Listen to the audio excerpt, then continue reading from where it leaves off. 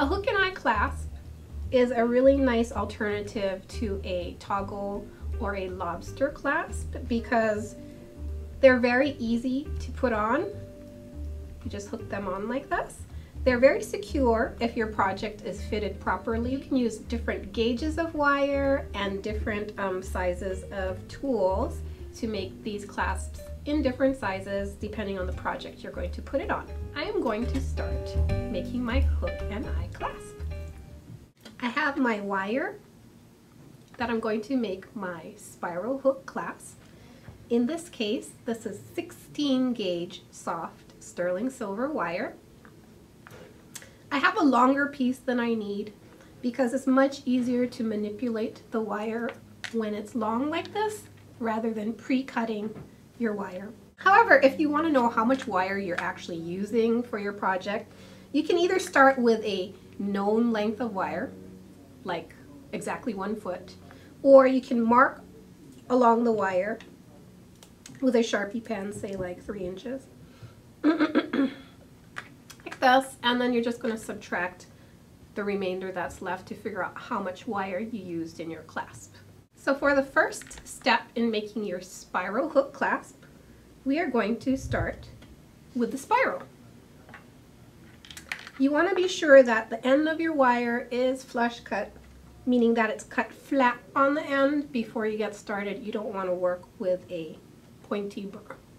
Okay, so if it's not already trimmed, then trim it down so that it is nice and flat. Just like that. Then we're going to get our round nose plier and I'm going to grab as close to the tip of the wire as I can, between one third and halfway down the jaw of the plier, like this. And you want to make sure that this wire is not sticking out past the jaws of the plier because then you'll end up with a very flat spot on your spiral. You want it so that it doesn't stick out at all. I'm going to brace the wire with my thumb on my left hand and curl my wrist so that the palm faces me like this. And so I have my curl started here. I'm going to tighten the curl by squeezing it with my chain nose plier. Just to make it a little bit smaller in case it was a little bit too big when you turned it on your round nose plier.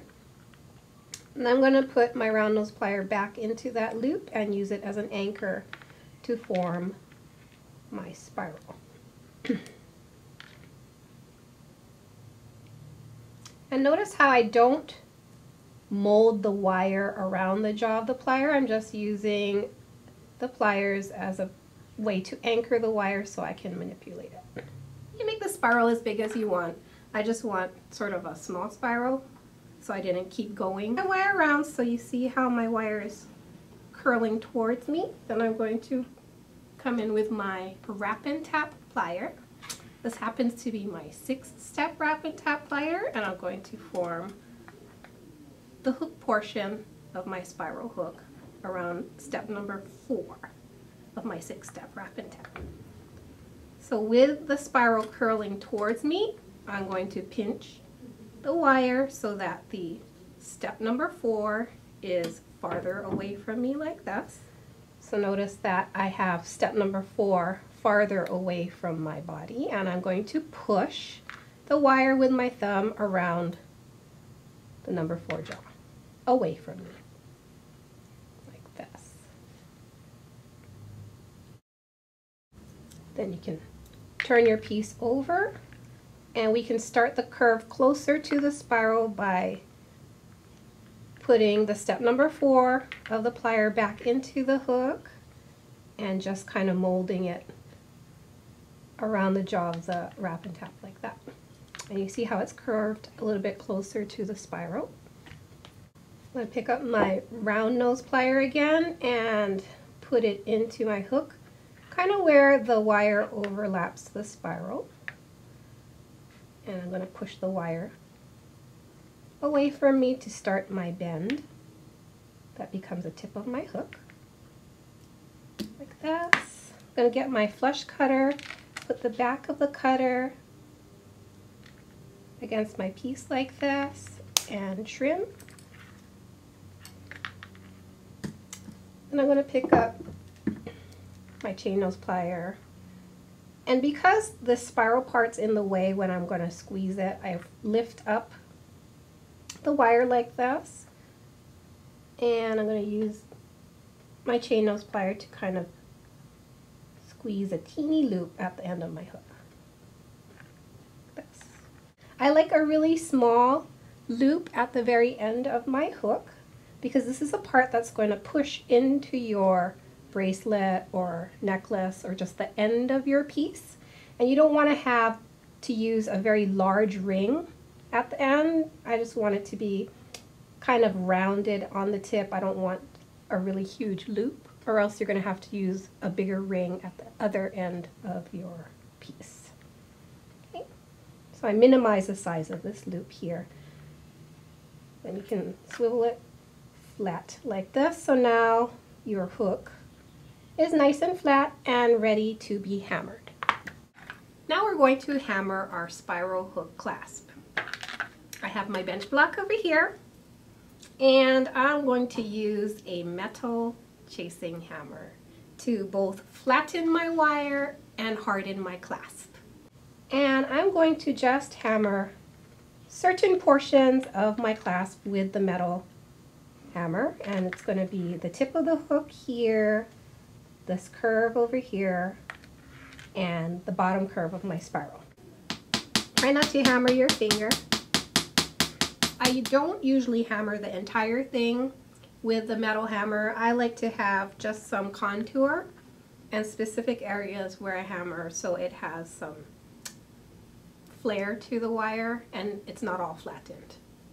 You'll notice that when you hammer your clasp, the curves will start to open up and your metal will shift. So this portion, the space here may get a little bit wider and your curve here may loosen up a little bit, but don't worry because once you're done hammering, you can adjust the shape after.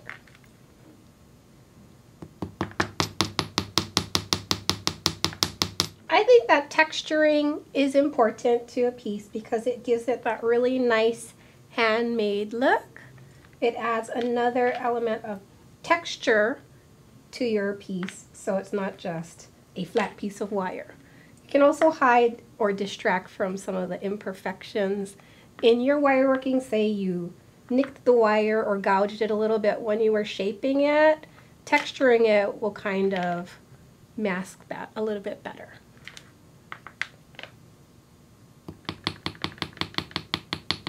And it looks really nice too. I really like the look of textured metal. Okay, so after we finished hammering and texturing our piece, you can go back with your pliers and tighten up your curves just a little bit, especially if this section here spread out a lot. You want this space to be closed. Otherwise your clasp will be able to come off of your piece, which we don't want So use my round nose plier to kind of make this loop go closer to this wire here and you notice now my space has been closed off. Okay, you can also make this space at the end of the hook a little bit smaller so the fit will be tighter on the ring that you're going to use to close your clasp.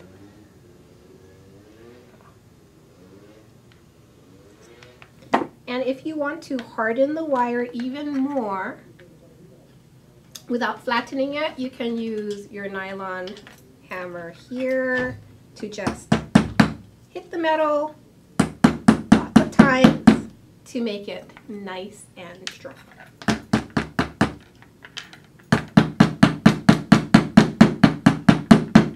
The nylon hammer will harden your wire without flattening the metal, which is what I want in this case.